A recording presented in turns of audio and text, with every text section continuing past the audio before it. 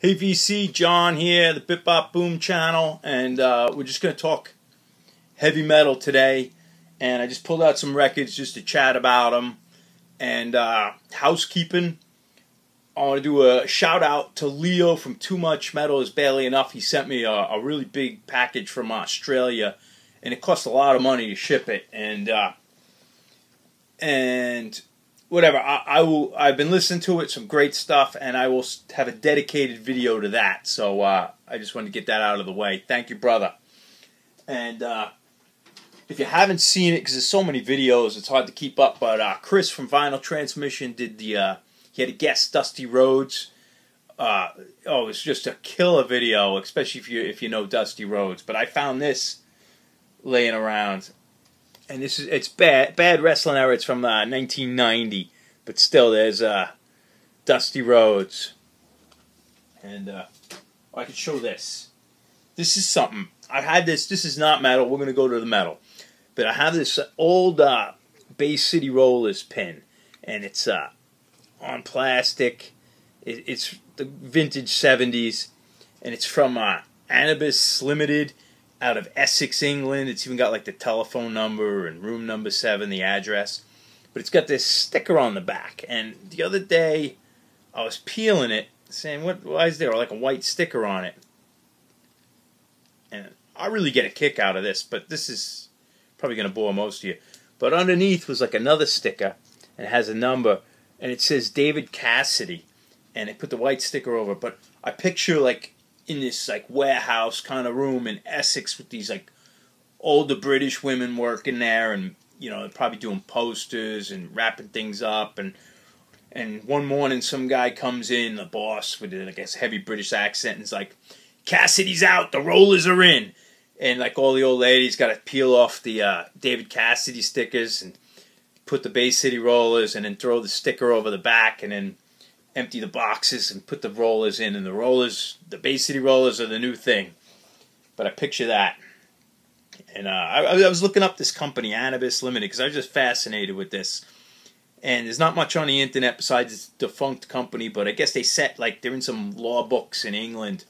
They set some legal precedent when ABBA or some Swedish company like Langstrom or something representing ABBA sued them because they were making t shirts with pictures of ABBA but they fought back because they had paid for the rights from the photographer had the rights, and basically, this company won because they had the rights to the to the uh, photograph that they were using the shirts for, and ABBA wanted because they had the rights to the image. But anyway, I was fascinated by it, but it's not heavy metal, and it's probably pretty boring. But let's get right on to to me one of the greatest records of heavy metal is uh, this record, and I only rediscovered it. I mean, I knew this was a great record, and I always played uh, Warfare a lot, but Jag Panzer, unbelievable. If if you don't have this and, and you're like straight up U.S. metal, this is mandatory in everyone's collection. Even if you get a CD of it or a, uh, a reissue or whatever it is. And this is from Ironworks, and it's the Great Jag Panzer, I believe California right? Is it California? Uh, correct me if I'm wrong. I think they're California, but uh, it's one of the most like aggressive, toughest, meanest, heaviest records that I own, and, and not thrash or anything, just straight up metal like Judas Priest or something. But uh, these guys play very aggressive and not in a sloppy way, like tight and and. Uh, just really mean, and the songs are well written, catchy choruses, and uh, well performed. The singer Conklin, it was the Tyrant, but I think he's uh, is it Hank Conklin? It's Conklin. I think it's Hank Conklin. Harry Con- Hank Con- yeah.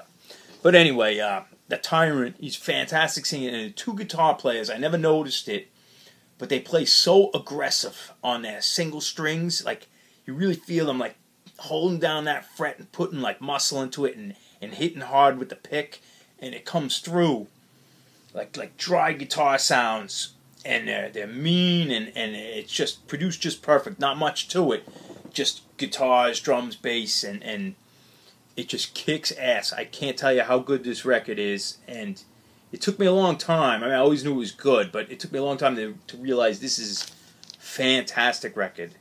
And I think the last song, The Crucifix, which is in like five parts, is a little more like a Heaven and Hell, like a Black Sabbath Heaven and Hell kind of epic song. And that, I think they put like more reverb on, and it sounds more like a regular metal record, regular production, 80s production. But the other ones are just so damn in your face. And uh, Warfare is great. Generally Hostile is, is a killer aggressive track. And Cardiac Arrest, Cardiac Arrest has uh, lyrics. Uh, will take you, will make, will, will take you, will break you, slap you on your back with all my metal power, give you a heart attack. And I, I just picture the singer like giving someone a heart attack with his metal power, like bracelets and the whole whole setup on like and like someone just having a heart attack from his metal power and it's it sounds corny but it's it's believable when you hear this but uh killer record and they, they put out this lp and they put out an ep before and i think 83 i only have the high roller repro and what was it tyrants and this repro has a bunch of demos from 80, 81, and they're they're good. They're hit or miss, a little more hard rock, some metal, but a great package. But the four songs of the EP are the important ones, but still not as great as that record. But now I have those, and that's all I, I need for Jag Panzer. They put out like records later on when they had a reunion, and I'll just show you the uh, gatefold. This is them as a four, they're a five piece, but back in the early days they were four piece, and they obviously look earlier. This is like an 82 picture, or 83, but they look, this is probably 83. They're a little more heavy metal. Did I show the back? I'm sure I showed the back. That's them in 84. And uh, I think it had an inner sleeve, but I never had an inner sleeve in this. And I'll look. I'll look like seven times every time I pull out in case I missed it, but it's it's never in there. So, Jag Panzer just uh, it's not 101 metal, but it's uh, it's up there with like I don't know, Exciter, like you know, stuff that is so good, but like sometimes people missed. But uh, another band I want to talk about, and I'll put them on because I have no music here. And this is this is not great, but uh, I'm fascinated with this band and this is Armed Forces uh, from New York, and this is I think '84, and this is uh, Let There Be Metal, and it's not a great band, but it's a absolute artifact of heavy metal. The singer is this is Knight Rider. He's got like a high pitched voice. It's it's so cliche metal. and and the way they dress, they they came right from the heavy metal boutique, and they got all their st- their clothes right out of the rack at one of those like stores that sell the heavy metal clothing, or in the back of a hit parader where you can order the clothes. Everything's right out of the catalog, but it makes this record great. He's got all the bracelets. This guy's got the matching armband with the shirt. This guy's got the uh, the zipper shirt. This guy, he's got a dagger on his uh, the bass player. He's got a dagger tied on. This guy. But it's uh, it's only a five song, uh, yeah, five song EP, and so it's not great, but five songs I could deal with it he's almost got a King Diamond thing going. I mean, obviously, his only influence off Halford because they wouldn't have known a King Diamond, but it's got like a uh, kind of cool, like weird tales, like the old comic books. Um, it's got an inner, and I think it's on their own label, Metallic Flame Records out of New York.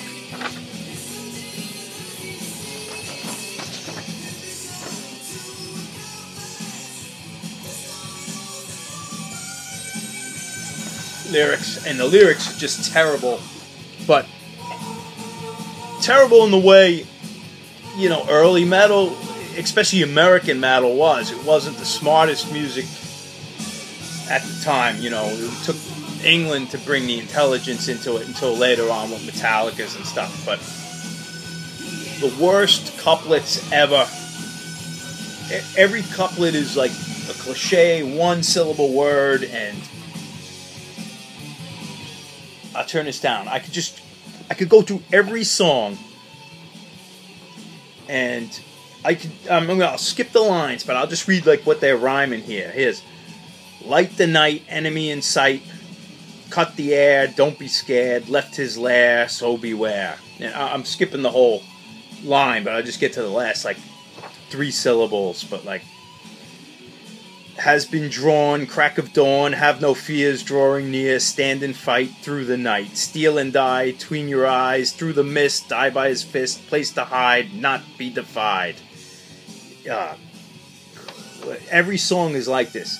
Together so long, never go wrong, look in my eyes, all those lies, burning for you, you could do, something to say, you every day.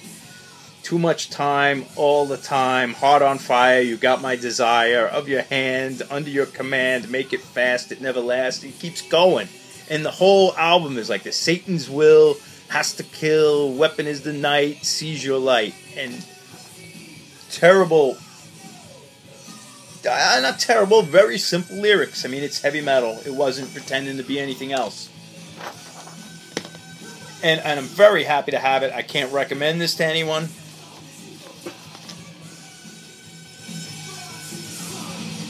very New Yorkish too.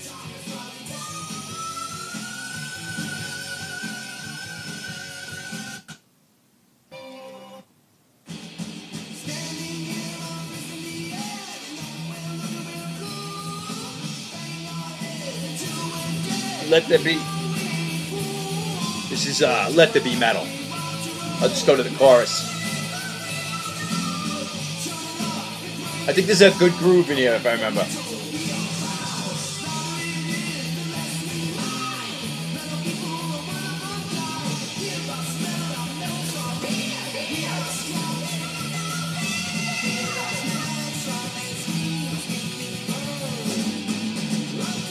Thought that was like a cool groove.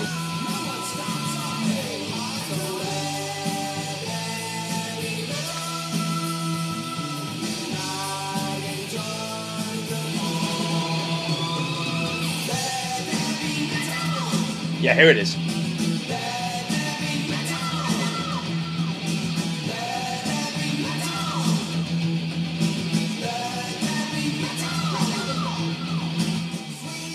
Well, anyway, really know much about this band.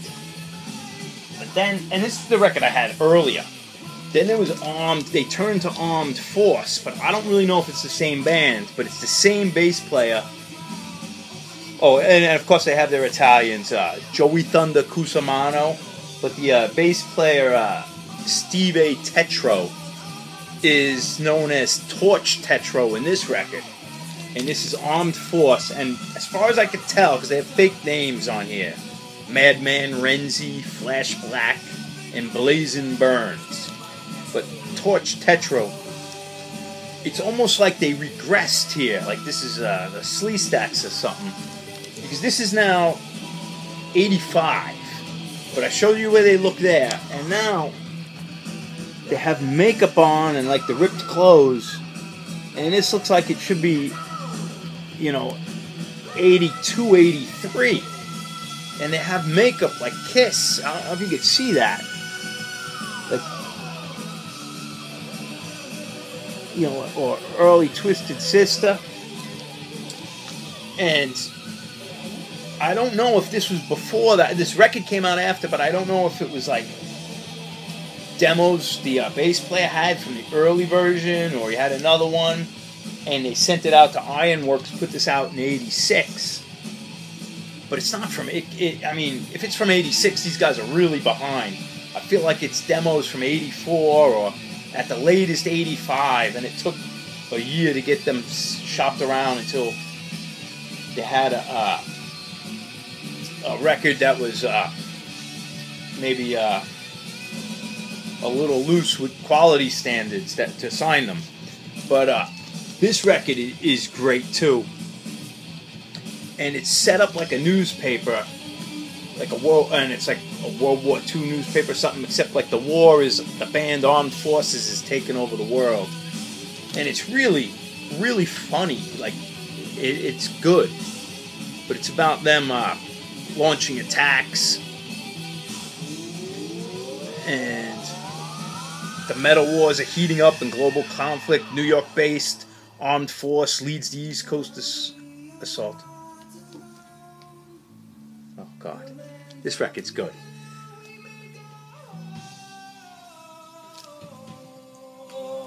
And it's really funny. But uh, during a recent raid on suspected headquarters of the Armed Force Slaughter Brigade, authorities found markings on the walls, whatever, to believe the insignia of armed forces. And the other item, other items seized in the raids were guitar picks, drumsticks, and cassette recordings titled "Heavy Artillery." And the Slaughter Brigade, an elite group of soldiers of fortune, better known as Armed Slaughter Brigade, are taking applications. Interesting recruits should apply at the address below. Only those headbangers that are fit for duty will be accepted. And a special division called the Fox Corps will be set up for heavy metal women. Send photos with application. But they got them, I guess, like they were, we're going to do a, a, Germany tour, and this is like them attacking Germany. But it, it's really funny. I mean, I'm spent too much time reading it, but but it's a different singer, and it's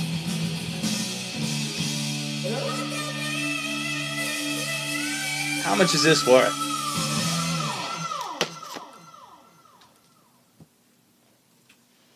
And the other record, this record might be better, but it's completely different. But they're they're connected, armed forces to armed force, and it's on uh, Ironworks.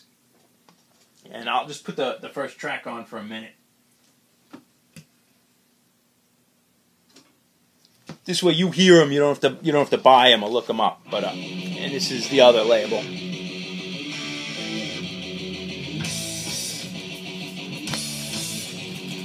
He's a good singer here. Um, it's not the ridiculousness. He reminds me of someone, but I can't think of it. But the same simple riffs, cliche metal.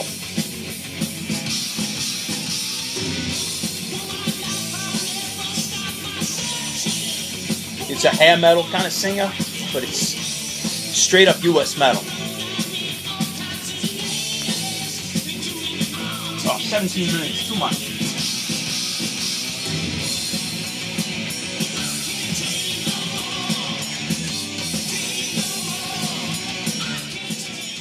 Well, anyway, that's that.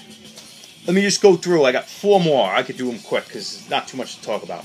I got uh, Stormtrooper, new wave of British heavy metal band, uh, high roller release. It's from I think 81, 80, 81. There they are. This is not a great record. They were a little bit older than like maybe like a year or two older than, than like let's say the Maidens. This is 80, 81. The interesting thing about this band is they, they use a Moog synthesizer, so you get that like woo all, all the Moog, like the vintage Moog sounds in there, and they're a little proggy. Um, but I found them kind of be kind of boring. I mean, not terrible, but it's not really my bag of like the, the dirt bag new wave of British heavy metal.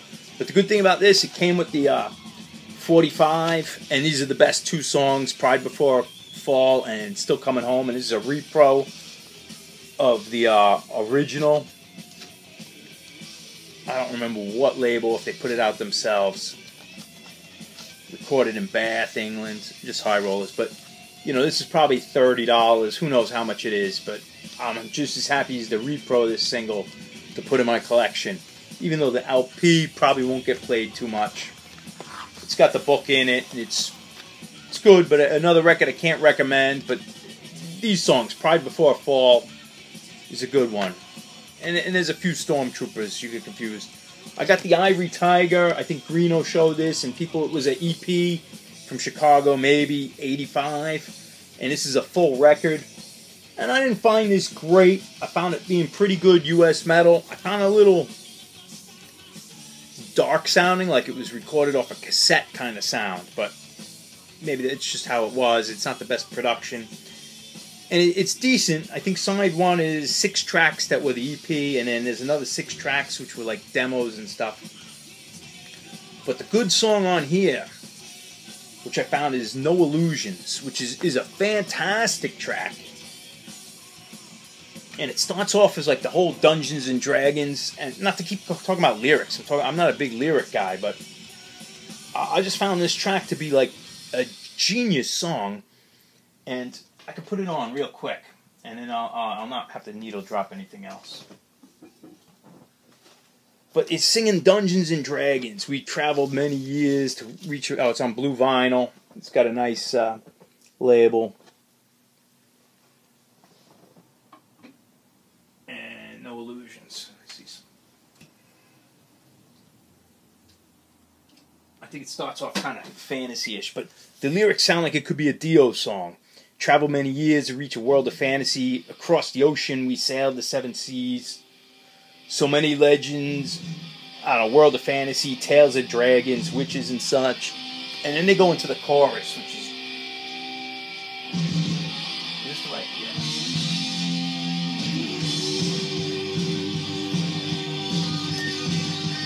I just got the whole interview, the story of the band. It's a, it's a good record. It sounds like it's going to be like a 80s uh, demons and swords kind of song. But then they go for the chorus, they go into like street metal, like New York or Chicago urban street metal with the chorus "Got No Illusions," and I love it. Like the, the poor grammar, talking like the way I talk, and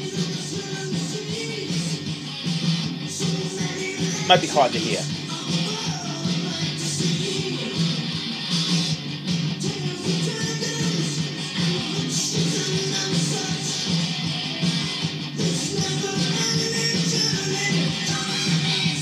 Here comes the chorus.